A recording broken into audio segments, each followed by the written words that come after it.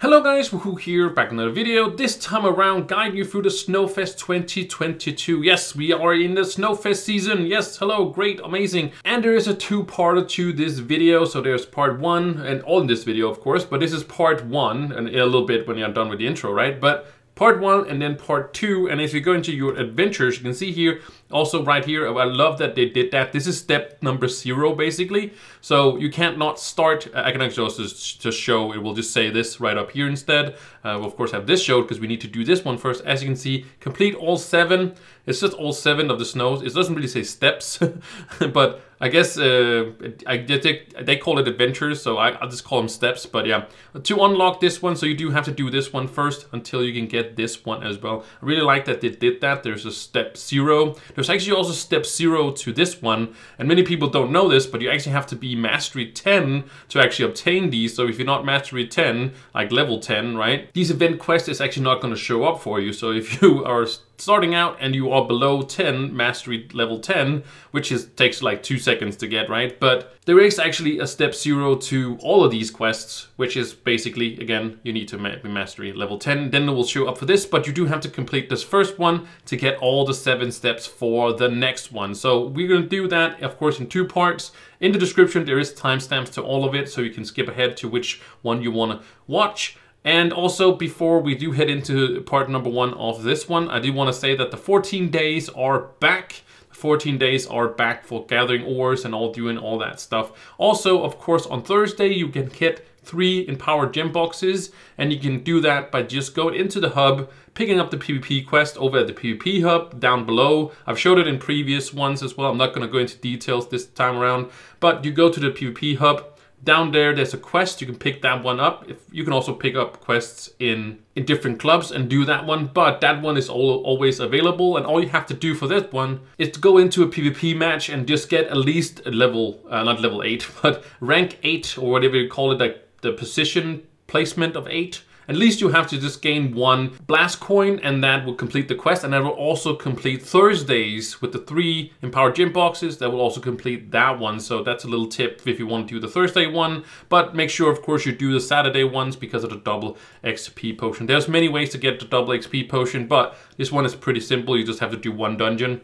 That doesn't really take you very long and you can stack them up. And then when you want to use them you can use a bunch of them but yes that was the intro. I just wanted to let you know that was two-parter and also about the 14 days of the mini daily ones that is also around. So anyways, right here we are going to have, a, uh, you know, step number one, but also part number one. So yeah, step number one coming up right here. All right, guys, so for step number one, we do have to go to the hub and talks to Elfsly, not Qubesly, but Elfsly, and he's over there at the big Christmas tree. But I don't know what happened to the hub. We had a very nice winter one. Now it's a little bit green. It does falling snow, but it's much more greener now than it was before, so I'm not really sure why it is like that, but it was very much more wintry before today's uh, you know event started. But you do have to go right over here, and we are going to talk to Elfsly and he doesn't like show he shows up like right like right here. There's also the you know tables and donation and stuff like that, but doesn't say like, hey, you can interact with this guy, but all you have to do is just, you know, look at it, look at him, and then use your interact button just like that, and that's gonna complete your step number one, and we can now head into step number two. All right, guys, for step number two, we do just have to go to the table right next to Qubesly as we just had, and craft ourselves the gift givers standard, that's a banner. Uh, all these materials here, of course, Flux is what Flux is, right? But all the other materials is just something you can get off the marketplace if you want to, or you maybe just have them lying around as I have. But if you don't have them, you can actually go out and get them, but you can also just get them off the marketplace. There's not very many of them. Some of them might be a little bit expensive, but overall it's it's pretty pretty uh, standard. But all you have to do is just go ahead and craft that one, and that's going to complete your step number two. Not really a big deal, but all the materials, as I said, can get off the marketplace or for cheap prices or whatever. But they're pretty easy. You can also trade them with people. That's what I'm saying. So if you have a friend has a lot of them, hey, hit them up. Let them know that you need a little bit of that to craft yourself the banner. So, and that's step number two. We can now head into step number three. All right, guys, for step number three, all we have to do is unwrap a gift. And how do we unwrap a gift? Well, what we do is that we equip our uh, banner we just made Uh, yes, it has a different name, but that's sort of just a little bug because I had it equipped. As you can see right here, it's just a, a style that I have equipped, but it is that one. As you can see, there is the orange text. Swamp time spawns uh, as a gift, and then you can open that gift when you do a dungeon or defeat enemies. Uh, it's just random when you are gonna get it. I'll do it right now with you guys, but just let you know that it is this banner. It just looks different because that have this style on. So that's why it looked and also has a different name. It's it's just that standard. Just letting you guys know that it's this. You can see that's you can see it's also different from the torch as well. So what we're gonna do right now is just do some dungeons and then we'll get one randomly and then we'll open it together. So yeah, let's just go through here and get ourselves some dungeons done.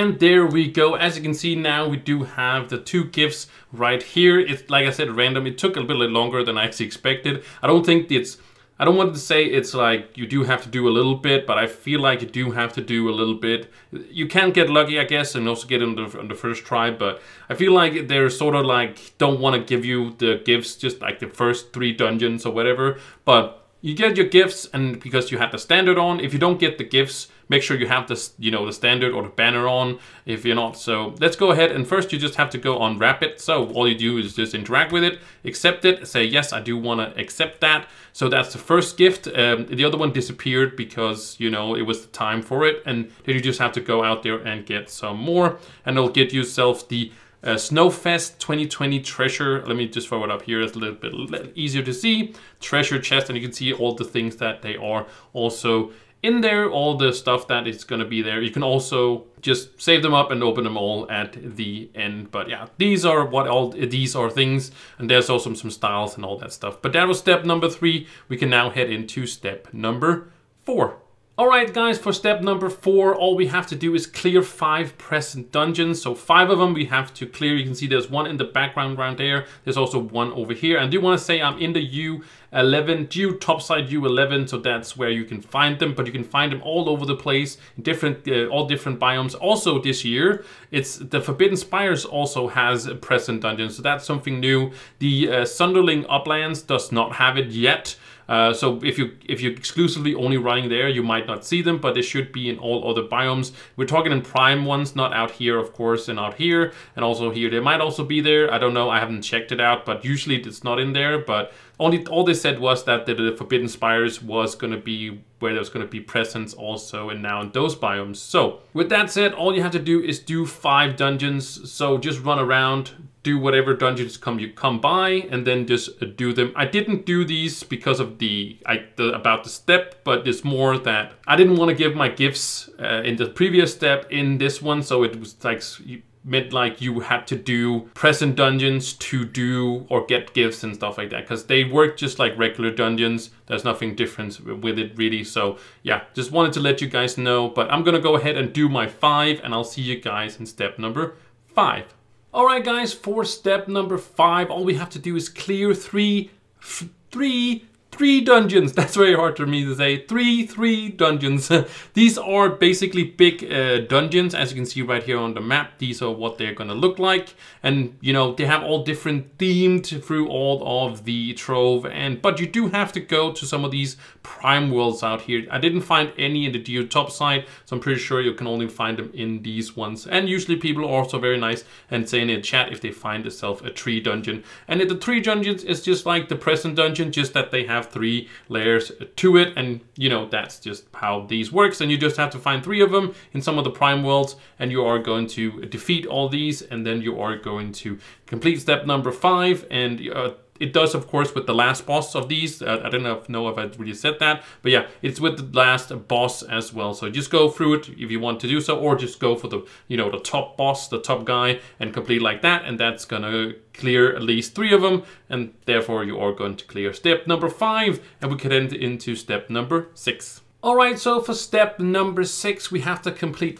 five daily quests until we go back to the hub and oh, back to the same area as we was in before, and we are gonna pick up our five daily quests. It is make a Snowfest donation, so I'm gonna go pick that one up. It is also earn a, only one dragon coin, but if you complete, if you get more than that, it's also don't not too bad. And then also complete the uh, Snowfest tree dungeons, and also right over here is also the present dungeon, so I'm gonna pick that one up as well. And then lastly, in a snowball fight. So let's go in here and just kind of talk about them real quick. As you can see, they're all in here. So how do you complete, you know, this one, for example, make a Snowfest donation. The Snowball Fest is uh, fight is right here, so you just go into that one. Um, did it just say participate or, oh, it just says get into, so you just have to go in and then you can basically get out of it.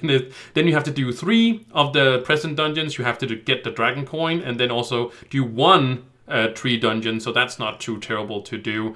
Uh, a dragon coin, you can actually get yourself this one. I'm pretty sure if you buy it from here, but I wouldn't recommend doing that. I'm gonna do it for the video and buy it. Yes, it did work. So uh, I wouldn't recommend you guys doing that. Just use one of the challenges or just hold on to it for, you know, some of the challenges and something like that. Or you can also do some of the tomes, whatever. Uh, there is, of course, the dragon tomes right here will also work in that sense as well. But I did it for the video and yes, it did work as well. As you can see right here, I did get the Snowfest and because of that. So if you're really in a hurry, you can do that, but it, this uh, 750 dragon coin deal, whatever, is really, really not worth it at all. So don't don't do that either. You can also do one thing other than that. You can actually Something you can also do is to save up your lesser dragon caches, or if you have greater ones for that matter, but you can use these, of course these contain of course flux, but also dragon coins and these works as well. Pretty sure, uh, you know, I can't test it right now, but I'm pretty sure that's also,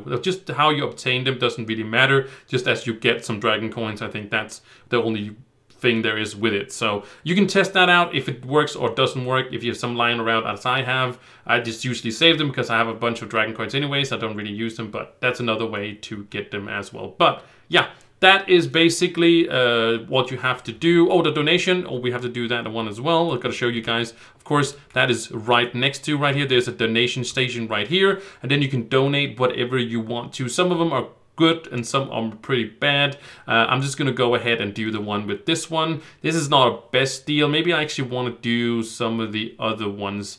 Uh, maybe I'll actually go with the pearls, actually. I think I'm going to go with the pearls. I don't think this is the best one either. Uh, there might be some better ones, but it really depends on what you want for that as well. But I'm just going to craft this one, and that's going to complete that one as well. So as you can see, I've done two daily quests right now. So I'm going to jump into, uh, do one more tree dungeon, some more present dungeons, and then I'm going to jump into the snowball fight. The snowball fight is actually pretty fun. Uh, it, it, gets a little tedious, you know, uh, in the 14 days, but in the beginning it's pretty fun and I think it's great that they do that. And only you don't have to win it that's the most amazing thing as well. It might also be these dailies also might work on Thursdays I'm not sure but you can test it out if you want to. But that's step number six. I'll see you guys in step number seven. All right, guys, so this is not step number seven. I just wanted to mention this. I tried to get into the Snowball Fest, but it's bugged at the moment. But you, you get actually sent to regular PvP matches. But I just did the daily quest anyways, because you just have to let it run its course. Basically, just let it the timer run out, then jump off. And if you jump off, it works exactly the same because they're based on each other. So it's still works. So don't worry if you get sent into the regular PvP match. It's just bug right now.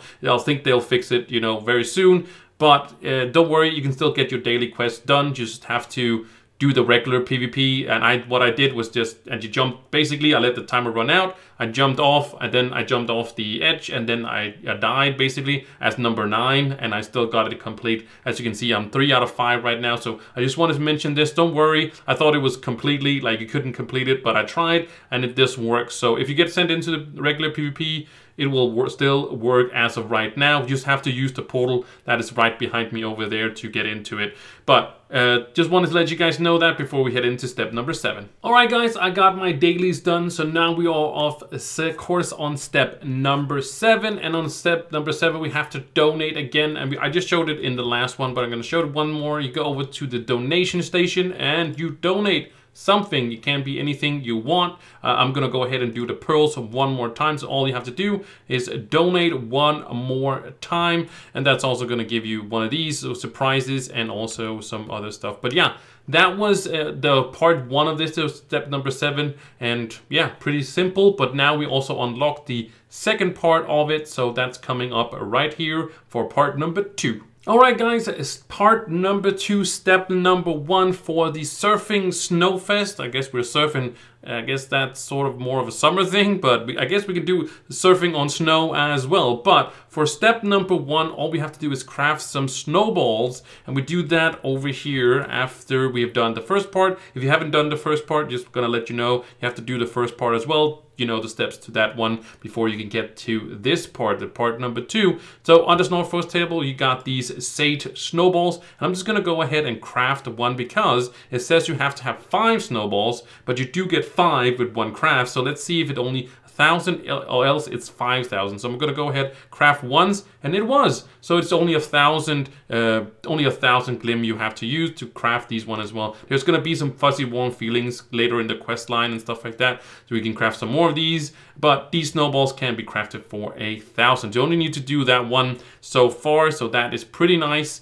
Uh, just for step number one in this part number two, again, do part number one if you haven't done that one. But yeah, that was step number one. Let's head into step number two. Alright, so for step number two, we have to throw these snowballs in the treasure island. If you don't know what the treasure island is, basically the biome that has this, this little steering wheel on it, and you just have to go to that one. I am in uh, U11, but doesn't have to be that one. It's all over the place, basically. Not in the the first worlds here, but some of the first ones. But most of them it is here. So just find one that has one. Usually they're pretty easy to find. You can see there's more down here. People are going down here to, to throw some snowballs. And you can see I already throw through one because it says the Lost Islands and it actually works here as well because the Treasure Islands is also something that is in there. But it does work, so just go here, throw some snowballs. Uh, I'm in a present dungeon, doesn't really matter. But yeah, as you can see, just throw some snowballs those snowballs you just had and you get some more snowballs for that one. But that's it. Just find the place with the with the steering wheel on it and be in that biome. Uh, make sure you are so as well. Look up here if it, it says that because you can't just be on the edge of it. But that it, that's it. Just be on, you know, throw some uh, snowballs and be in the biome. That's it for step number two. We can now head into step number three. All right, step number three, all we have to do is jump on our boat. I don't know if we have to physically jump on our boat, but I think that what they mean is just get in the water and jump in your boat. And as you can see, there's a lot of water right here. It doesn't have to be anything specifically, just have to be in the water. And I'm just gonna press G and I'm in my freaking boat here and that's gonna complete step number three. Not really much to it, just jump in the water, uh, or any water for that matter, and be and just, you know, hit that uh, boat um, key and then of course jump on your boat. So that's gonna complete step number three pretty quickly and we get into step number four. Alright guys, so for step number four we have to fi fish five fish, but it actually doesn't have to be fish. Uh, as you can see right here, I fished up an ancient boot because you can see I do not have any lures on. So I wanted to test this if you could just like jump, start fishing wherever you want. I'm fishing inside a pool.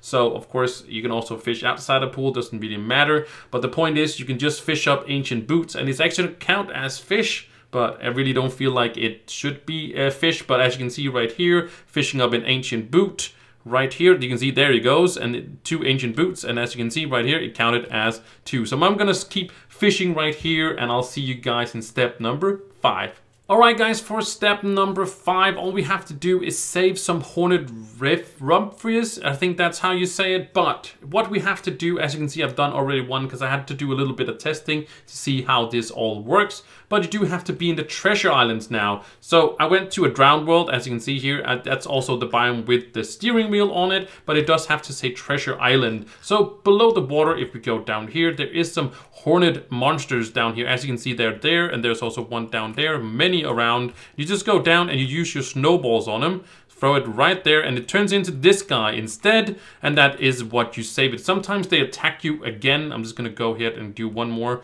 here. But all you have to do is just do that. Sometimes they do attack you afterwards and then you just defeat it basically.